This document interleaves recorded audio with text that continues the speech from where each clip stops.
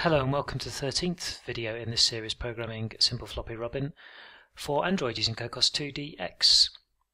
So, state of the application, if I run it quickly, just a quick reminder is we have a score and our best score, but that's not being saved. I said in the last video we'll deal with that inside Android because that'll be a good excuse to use the into C++ and Java, the JNI.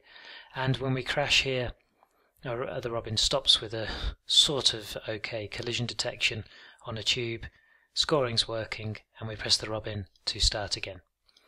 It's got lots of problems, of course. Uh, we can't really see the white labels very well. When it's over, if we click on the Robin straight after a crash, the game restarts with no pause or anything, which isn't such a good effect. If I just crash into this tube at the top here, assuming I can maintain the Robin, and, and click quickly, it starts again. It doesn't look so good.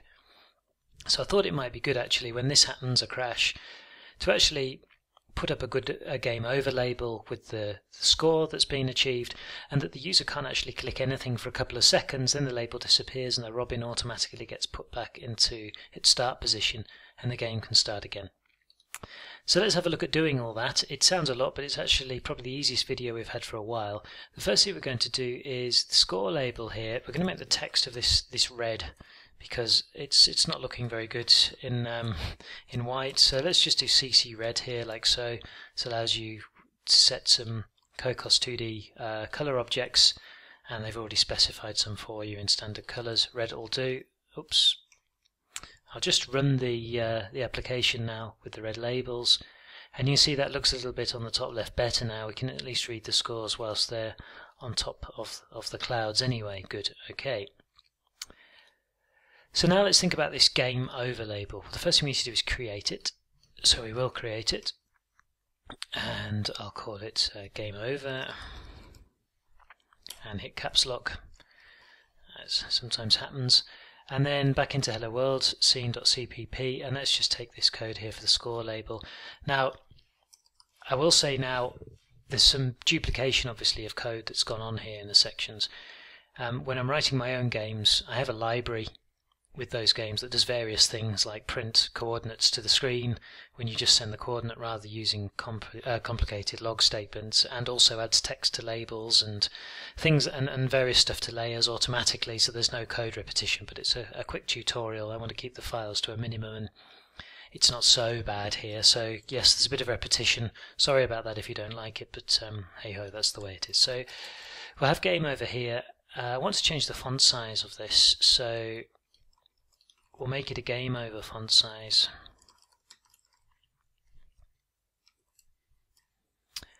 And 32, so I should be able then to say game over font size. The anchor point, it doesn't need anything special. Its position, it's going to be set in the middle of the screen, so I'll just copy that from the background sprite here. I'm going relatively quickly here because you've seen all this before. Colors set to red, and we'll add it as a child with the same Z index as the robin because it will appear over the top of the robin, of course, because we're adding it to the layer after the robin has already been added.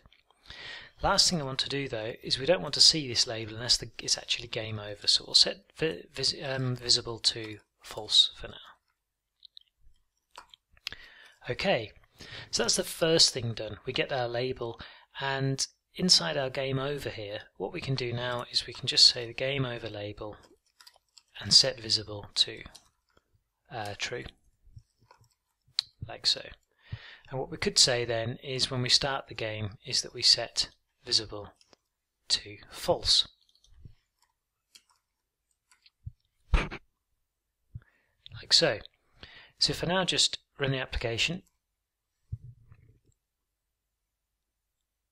and start playing the game and let the robin die, we get game over. As soon as I click on the robin, it disappears, but it's still not so good because if the robin dies and I click, then we don't really see anything appearing, and certainly when we get round to adding the score to that, it's not going to look very good when I do that. So we need to force a delay in there somehow. So the way we'll do this is, is inside the game over here, once we've set the, well at the start of the game over actually, the first thing we'll do is we'll call this and set touches ena touch enabled and say false. So we'll stop detecting any more touches. And now what I want to do is I want that label to sit there visible for at least, say, two and a half seconds. So what we'll do then is we'll call another function that then after two and a half seconds is called to set touches being enabled again and to remove this label or to make it invisible. And we'll call this function, we'll go up into the header file and we'll call this re-enable after game over. I'll just make that a small e and just copy that and go down into the implementation file and void and hello world. And we want this function to be called then. It's going to build there and see where it's given me an error and it hasn't good. Okay we want this function to be called then after the two seconds. And when it is first of all we want touch to be enabled we want the game over label to be hidden, so visibility set to false. And actually one nice thing really would be to take the setting of the robin's position out of here and actually have the robin go back as well once this has happened. So the only thing that remains actually is to call this label after the set amount of time.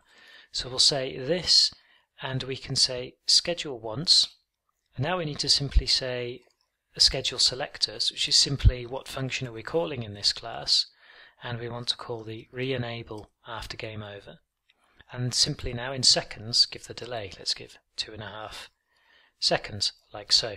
And that's all we actually need to do. So now when we have game over, the label will be shown, and after two and a half seconds, it'll disappear, and we can start the game again. So let's have a look at how that works. And I've got this Xcode problem again where the application is pausing for a while before actually starting. I'm sorry about this. Come on, good, okay. So now we're up and running and let's crash into a tube and now I've crashed and I'm clicking everywhere and nothing's happening and after two and a half seconds the robins reset to the middle and we can restart the game. So that's a lot better way of doing things. Game over, things sit there as they were and now the game restarts. One more thing however we can add to this is we've got this update scores label. Let's also update the game over label. So what we'll do is, it's again a bit of code repetition, but it doesn't matter. Game over label, update game over label. We'll take this in and drop it inside hello world scene, and that's where's the score label. Just drop that inside here. Take the hello world. And again, if you're writing your own games, particularly bigger games, you'd probably want a library that allows you to add strings to labels with some arguments sent into the font and the string, etc., rather than doing it this way. Um, I'll call this uh, game over string. And game over string, and this time we just want to set the game over label, and we'll set this to game over you scored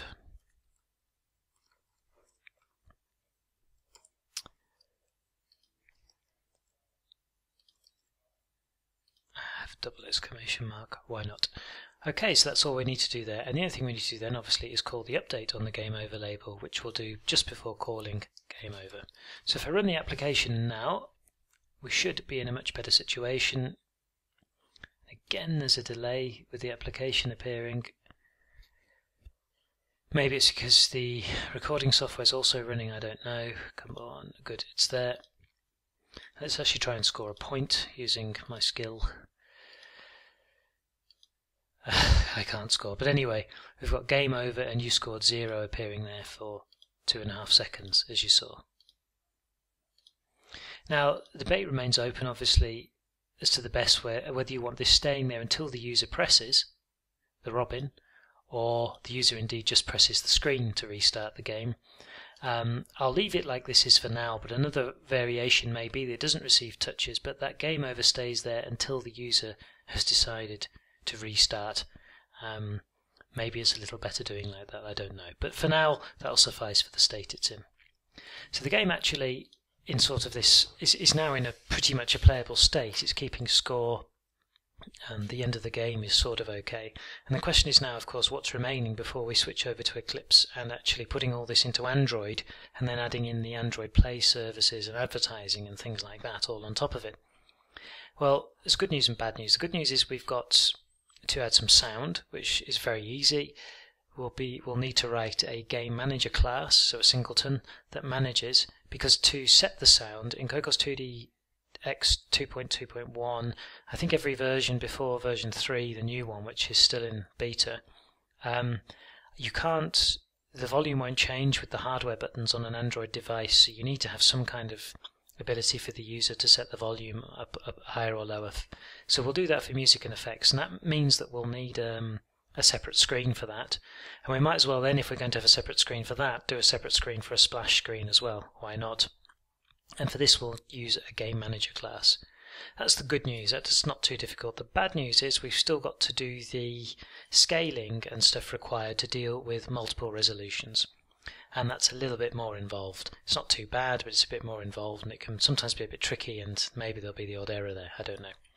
So that's it then for this video. And like I said, two or three more videos and then we're ready to jump into the joy of Eclipse and Android. So thanks very much for watching. Comments, questions, criticisms, welcome as always on YouTube.